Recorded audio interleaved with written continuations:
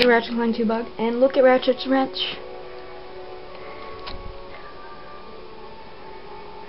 Look at it, it's not moving. So weird.